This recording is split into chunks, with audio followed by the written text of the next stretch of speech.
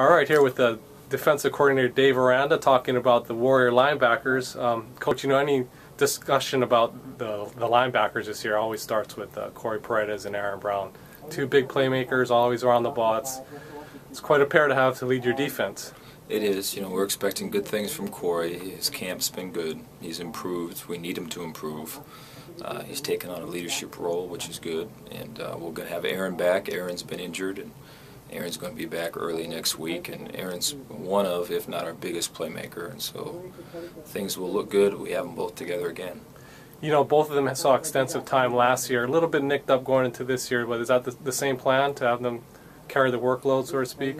No, want to be able to rep it out. And I think last year we were in a situation where we had to do what we had to do uh, in terms of them sharing are really uh, assuming the load themselves, the workload. Where I think this year we have the uh, depth and the talent that we can uh, rep them out, and I feel good about our our twos with uh, Daryl McBride on one side, with George Daly Lyles in the middle. And then we're having a little bit of a battle at stud, and so we'll see who comes out of that between Brendan Daly and, and Art Laurel and TJ, and there's some good depth.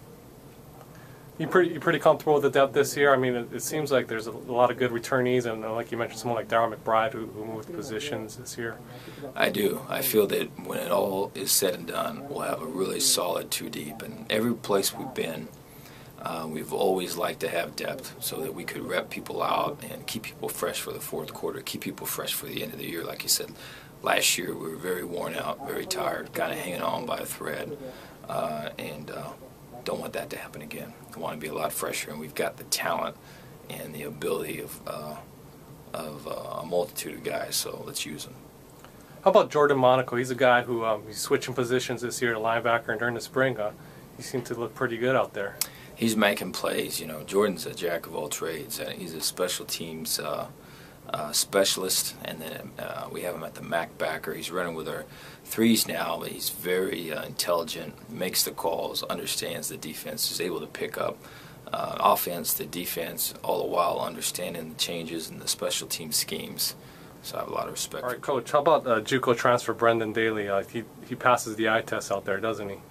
He does. Uh, we're going to move him around and try to utilize both his skills as an in the core linebacker and his pass rush ability. Uh, you know, he's a big guy that can also drop in coverage, and so when you have somebody like that, you would like to uh, uh, to feature him, and uh, we're setting up packages where we can do that. What do you think are the biggest strengths of the unit this year? Uh, they're smart. I think uh, from top down, they're they've got a football sense to them. You know, they're all academically and they're all uh, intelligent guys. But I think another another um, a different dimension would be to be football smart, and they they are definitely that. And so it's a joy to coach them. Uh, in your defensive scheme, what are the main things that you're looking to get out of the linebackers this year?